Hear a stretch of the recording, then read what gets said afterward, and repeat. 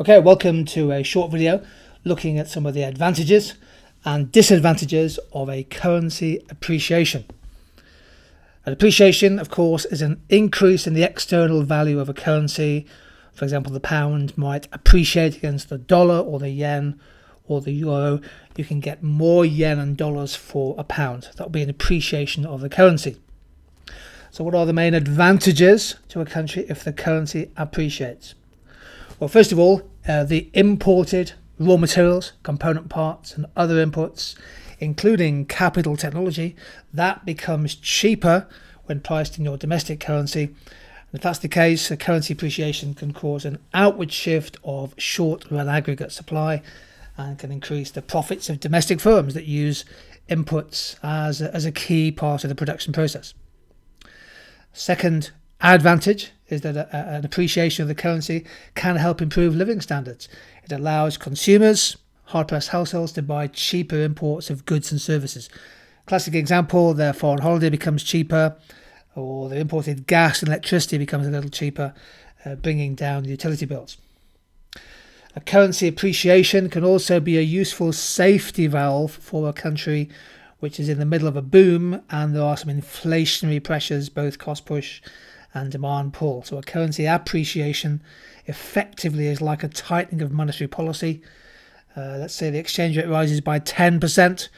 That's equivalent in the UK to maybe 1.5% increase in interest rates. It's a monetary contraction, and that can keep inflationary pressures and expectations under control. Stronger currency could also help to reduce the size of a large trade surplus if a country is running an excessive trade surplus, and perhaps help to ward off some protectionist threats.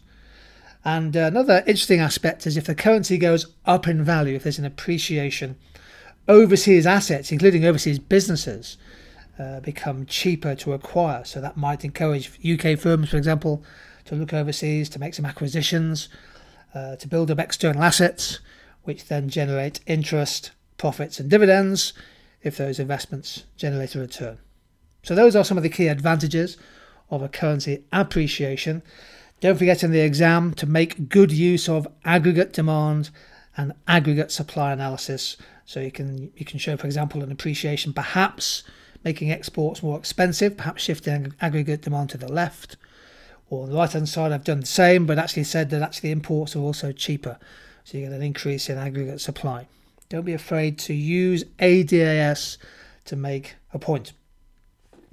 What about disadvantages? What about downsides to a strong currency? Well, the obvious point, I guess, is that exports of goods and services become more expensive when priced in a foreign currency. And this, of course, can then lead to a, a contraction in demand for exports. If export sales worsen, perhaps that leads to a worsening trade balance. Strong currency could also make life difficult for particular sectors uh, industries, for example, that rely on large numbers of tourism, uh, overseas visitors, so hotels, uh, tourism, uh, theme parks, etc., and transport sectors, the profits from that can go down because there are fewer overseas visitors. Uh, more generally, if the currency becomes overvalued, let's say the, the currency rises 10, 15, 20% or more, that can sometimes cause structural decline in an industry. Uh, we call this the Dutch disease effect, where an increase in the world price of a major export, whatever it is, palm oil or whatever it is, avocado or iron ore, drives up a country's exchange rate and can cause the manufacturing sectors of a country to, to really struggle and suffer. The Australian dollar has been particularly strong in recent years, and that's uh, one of the factors behind the, the basic end of the Australian car making sector. There's also a risk that a rise in the currency and appreciation of the currency can lead to deflation.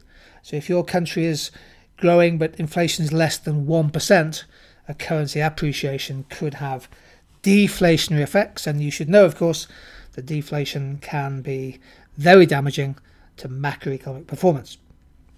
Some evaluation points. Here are four impact depends on points, just by way of illustration. So the impact of a stronger currency depends on the openness of a country.